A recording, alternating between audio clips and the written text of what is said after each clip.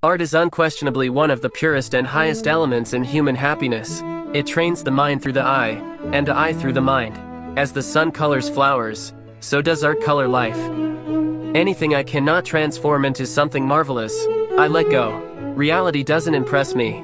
I only believe in intoxication, in ecstasy, and when ordinary life shackles me, I escape, one way or another.